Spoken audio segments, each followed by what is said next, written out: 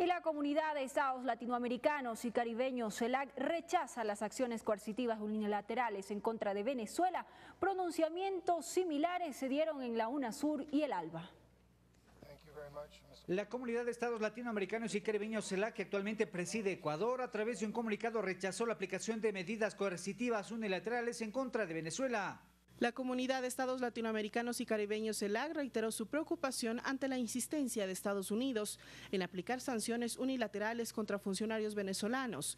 Ramón Torres, ex embajador de Ecuador en Venezuela y actual embajador itinerante en temas estratégicos, destaca la importancia de ese pronunciamiento en defensa, dice, de la democracia en la región. Los límites y las virtudes que la democracia en Venezuela tienen deben ser resueltos a partir de más democracia, de diálogo y de cooperación, no con acciones de inestabilidad, no con intentos ocultos de golpes de Estado, no con un boicot y una guerra económica. El comunicado de CELAC defiende también el principio de no injerencia. Insta a cumplir el compromiso de no intervenir directa o indirectamente en los asuntos internos de cualquier otro Estado, en respeto a los principios de soberanía nacional, la igualdad de derechos y la libre determinación de los pueblos. De hecho, las sanciones unilaterales que el gobierno norteamericano adopta afectan al pueblo y al gobierno venezolano.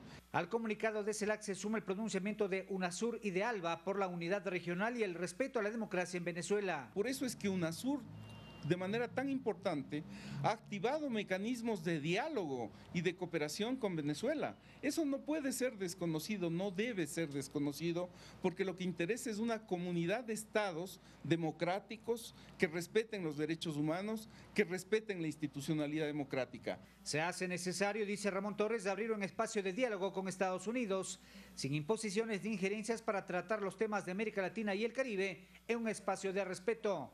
Rommel Garzón, Gama Noticias.